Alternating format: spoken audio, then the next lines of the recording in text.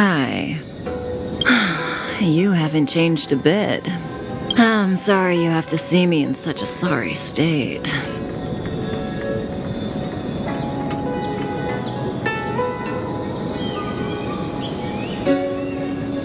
Really?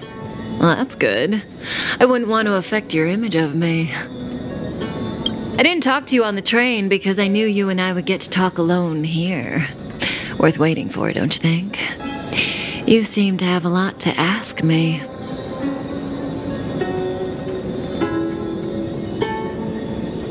Elio said he foresaw three questions, but they would be the same in essence. If I were to hear one of them, I would then tell you the objective of this trip in all its detail. Since you asked one of the three questions, it means everything is going smoothly. Xianzhou's Stellaron problem is not directly linked to us. But if you look at it from Elio's perspective, you can't say the Stellaron hunters are completely innocent. We foresaw all this long ago, but chose to remain indifferent until the time was right for us to get. Diviner Fu was surprised because she discovered three truths. One, the Stellaron hunters are not enemies of the Xianzhou. You know this now, though you refuse to believe it. Two, someone else brought the Stellaron into the Xianzhou and activated it. A result of both internal unrest and external aggression. Traitors on the Luofu and enemies from outside want to overthrow the Xianzhou. The Master Diviner is in a hurry to find the General, presumably to inform him of this fact. However, that's all the Master Diviner knows, because Elio withheld key pieces of information from me. He foresaw the Divination Commission using the Matrix of Prescience against me. To guard against setbacks, he ensured that I knew only what he wanted the Xianzhou Alliance to know in this moment. As for number three, even in their wildest dreams, the Xianzhou Alliance could never have guessed it. if the Stellaron hunters aren't the cause of all this, then why are Blady and I even here? We're here for you.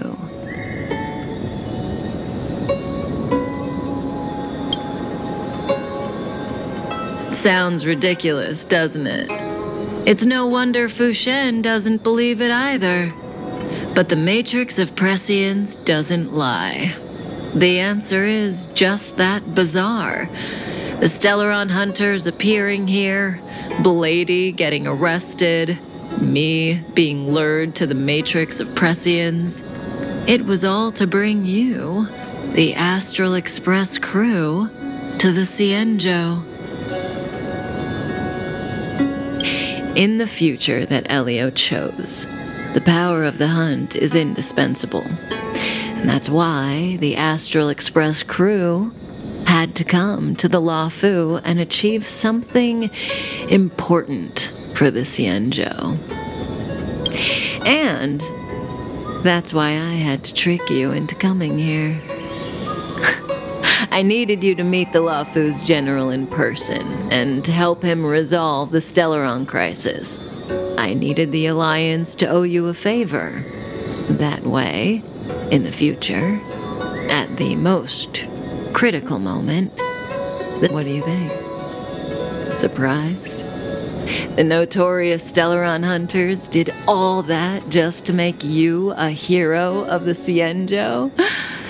Quite the plot twist, don't you think?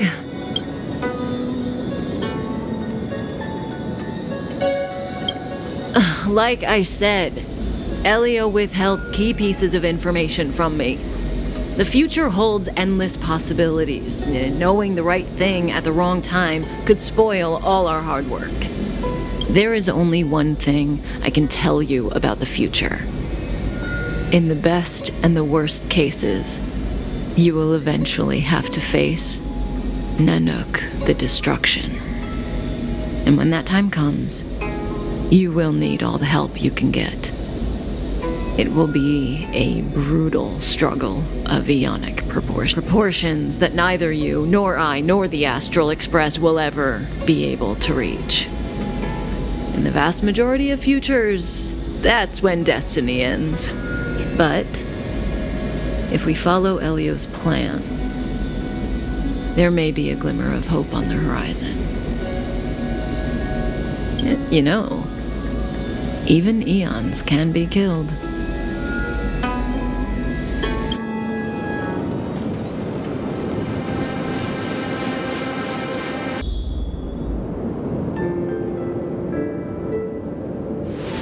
Hey, Luocha! You didn't finish telling us about the propagation.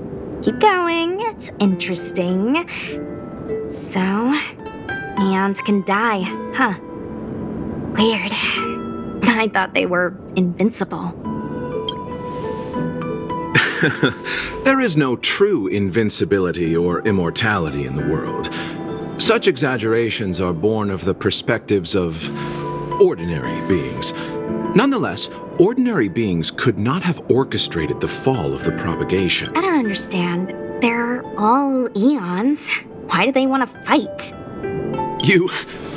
Are you really from the Xianzhou?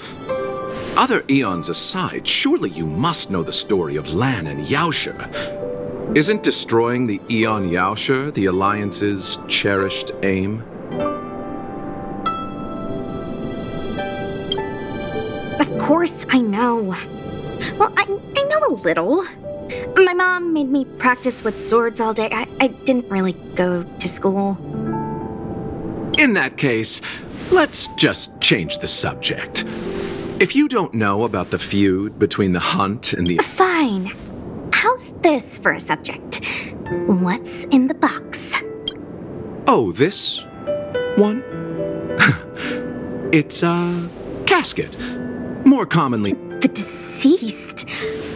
Aren't you a merchant? Yes, indeed.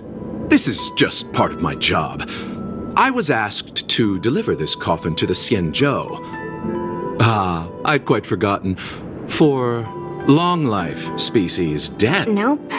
The Cloud Knights spend a lot of time on the battlefield. Death is a common occurrence. It's just we don't put bodies in boxes. Uh, coffins. In the Xianzhou, people go to the Hall of Karma in the Ten Lords Commission and consecrate the names and jade abacuses of the dead. The Foxians and the Vidyadhara have their own ceremonies. Foxian soldiers place their dead in star skiffs and then let them drift out into the stars. They call it the returning. As for the Vidyadhara, they're more mysterious. They say that when a Vidyadhara is very old or has a fatal injury, they turn into an egg that looks like a pearl. When the shell breaks, they come out. My mum calls the Vidyadhara long scions. When I was young, she told me stories of how the Vidyadhara could turn into dragons. I don't know if.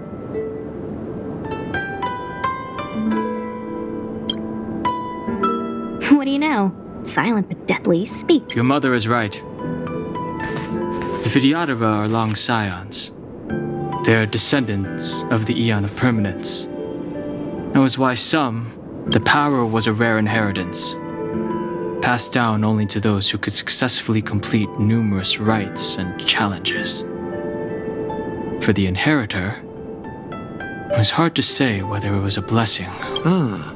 I've heard the story of Long the Permanence and their descendants Many myths and legends praise the Eon for a rich and but for some reason, the Eon disappeared among the stars without a trace. Almost as if they had never existed, leaving every life has its limit. Even the eons are not truly immortal and will eventually reach the end of. Uh, let me ask you one more question.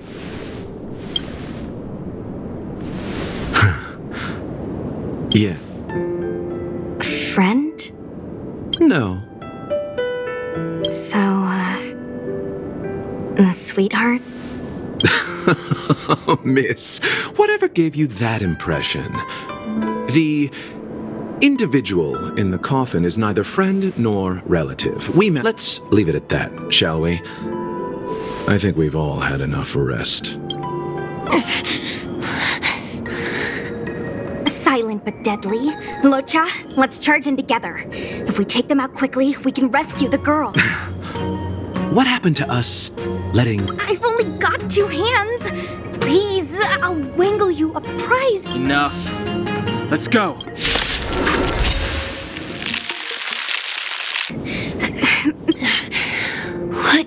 Sorry, I, I didn't see any blood, so I, I thought you were okay. My motor is broken. I can't. Are you a Cloud Knight? Good. Take me. I, uh. Luocha, silent but deadly. I'm afraid we have to delay things again. This lady is one of the judges of the Ten Lords Commission. As a Cloud Knight, I'm sorry. If I'd known, I wouldn't have got you to come with me. You'd probably be. I happen to have some medical knowledge. Perhaps I can treat the young lady's injuries? Well, it's just. She's a puppet. I think we should just take her to the realm keeping. Co- Don't worry, Miss Sushang. Leave it to me. You might get an aching or numbing sensation, but it shouldn't be too painful. Do you think you can hold still? It won't work. My body is mechanical, not flesh and blood. Be it mechanical or organic, we're still dealing with composite substances. I just hope you'll tolerate my methods.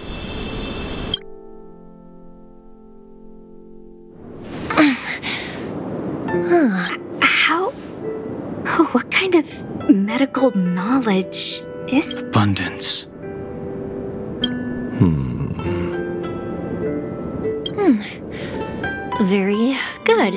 We, uh, no longer need to return to the Realm Keeping Commission. As a judge in the employ of the Ten Lords Commission, I am forbidden from interfering in the affairs of outsiders. However, seeing as you came to my aid, a word of advice leave as soon as possible. I came to address the root of our crisis by arresting a fugitive, a Stellaron hunter. This villain possesses exceptional swordsmanship and wields a divine weapon. They are extremely dangerous. if it hadn't been for a strange accident, my wake span might have been cut short. Strange. Accident?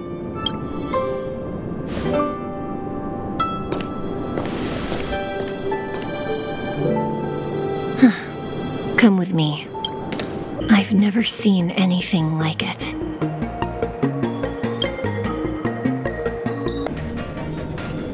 You know, even eons can be killed.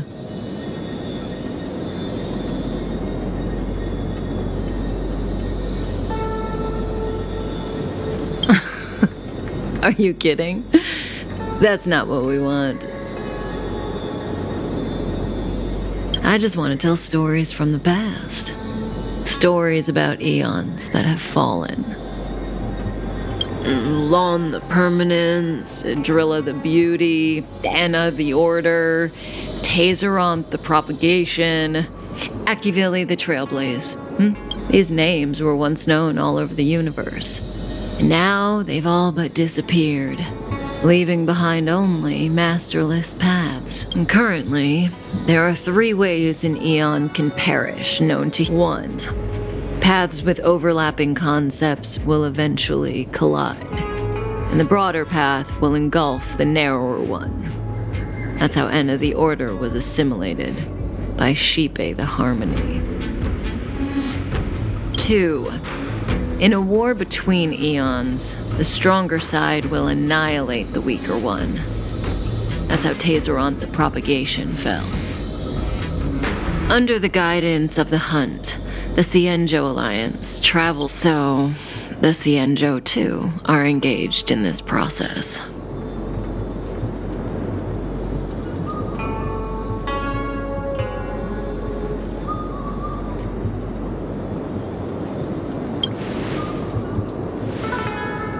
I don't know. Akivili's disappearance was very mysterious. Nous is probably the only one that can answer that question. After all, Droid Head knows everything. What do you think? Fascinating stories, no? They're the kind of stories that folks on the straight and narrow would never tell you.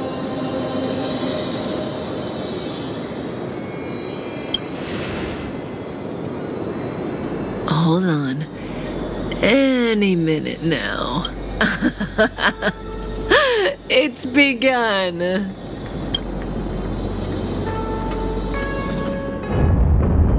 Hmm.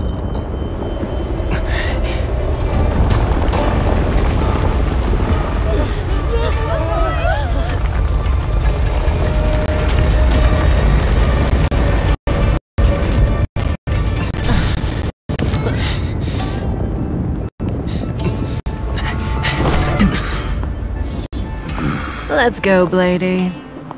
Two more places to visit.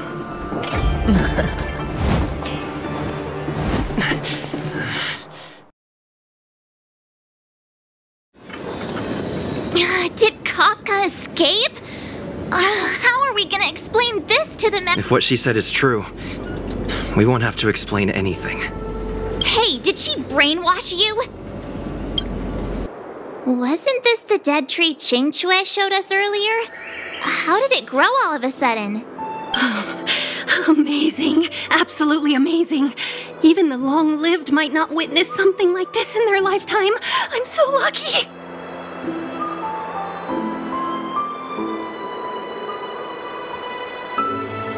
Such extraordinary energy. It's the Stellaron. Mr. Yang, do you mean the Stellaron is making the ambrosial arbor grow? Yes, the Stellaron the Cloud Knights are searching for must be causing this anomaly.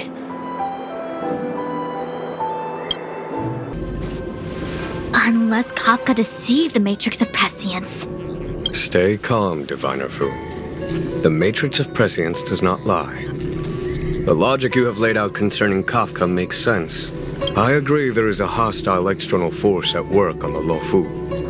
The Stellaron didn't appear out of thin air. Someone managed to sneak it onto the ship.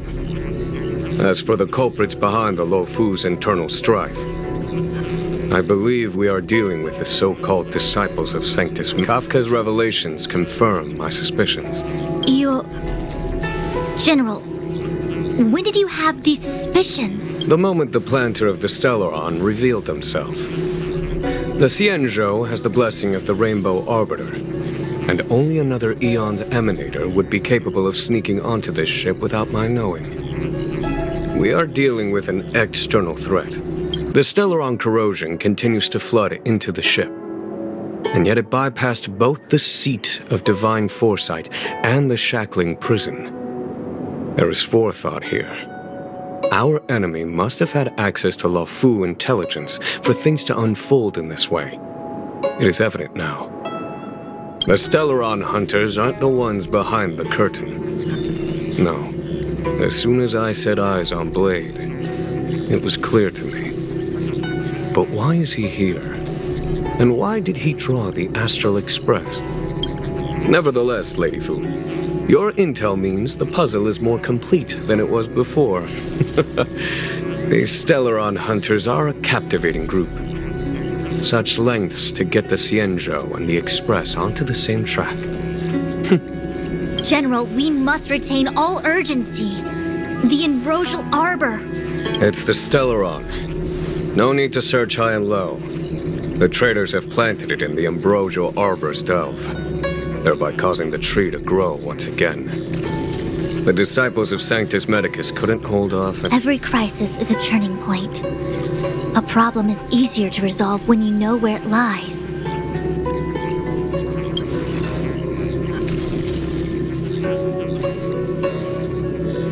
Am I coming up with a plan again? Of course. I'm sure you have a countermeasure at the ready, Master Diviner. From my perspective, convening the Cloud Knights is our immediate priority.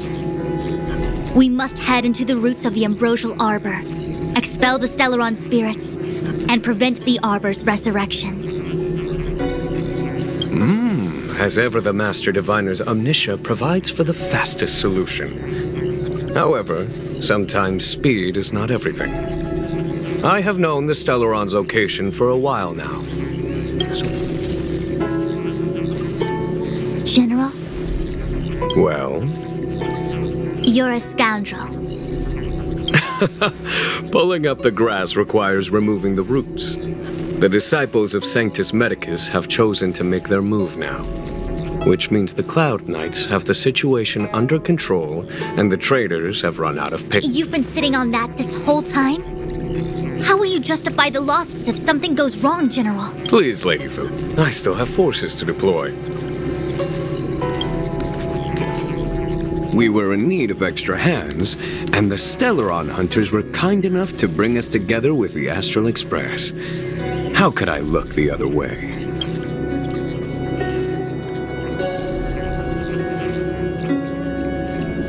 Ah, the General's smiling again.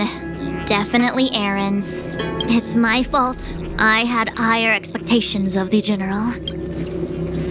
Please, we can't keep getting them to do everything for us. Since when did we run out of people on the Luofu? You. Why are you staring at me? Do I need to remind you, General, that the Ambrosial Arbor's access point is a closely guarded secret? Allowing Outworlders would be. A violation of the rules and regulations. I would like to remind you, Lady Fu, that the Xianzhou comes before its rules and regulations. As such, I am about to make a decision that runs counter to those rules and regulations. Oh, uh, decisions plural. what a rare pleasure. Lady Fu, I hereby issue you with the military tally. The Cloud Knights will be under your control. You will act in concert with the other forces in the approach to the Ambrosial Arbor through the. under. my control? You've been eager to discover for yourself what it is to be a general. Uh, You've never given me the opportunity, and now suddenly. Understood. As you wish. As for our astral friends, I hereby formally welcome you all to join our operation to seal the Stellaron. Lady Fu will deploy the Cloud Knights, but I would like you to set off in advance. Take a shortcut through the Artisanship Commission and convene with Lady Fu further down the line.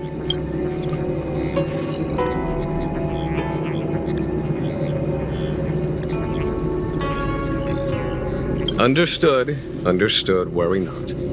I know how to repay a favor. Xianzhou has met with a dramatic chain of events, and each of you has chosen to stand by us. Your fearlessness moves me. Nevertheless, the enemy is upon us and time is of the essence. Let us not allow monetary affairs to cast a shadow over more. Once catastrophe has been averted, we shall discuss this in greater detail. Miss Tingyun, I would like you to continue to serve as a guide for our astral friends. Oh, of course, General. I am duty bound. Forward bridge is no distance hence. Ah, the hexagram was right. The ambrosial arbor was felled thousands of years ago. Now it returns. He really is a delegator at heart, isn't he? There isn't much distance between the artisanship and alchemy commissions. I'm afraid the former is likely also facing imminent catastrophe. The star skiff is ready. I will lead the way.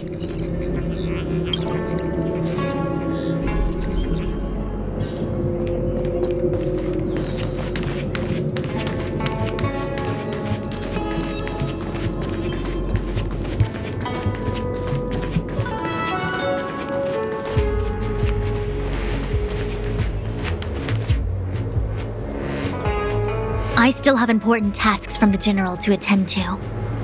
Go carefully, all of you. Uh, wait, wait! Master Diviner! Can you divine our fortunes for us? No need. My Omniscia has seen that your journey will be auspicious. Everything will proceed smoothly. Uh, are you sure? You don't need to use a crazy device? Well said. Thank you for your assurance, Master Diviner. Onward.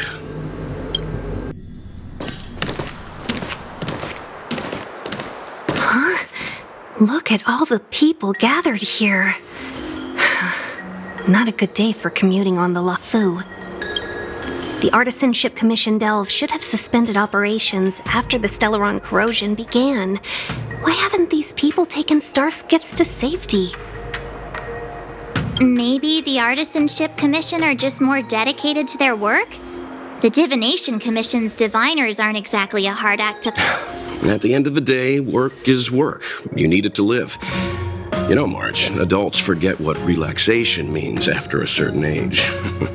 Sounds like you're speaking from experience. Just speaking from the heart, that's all.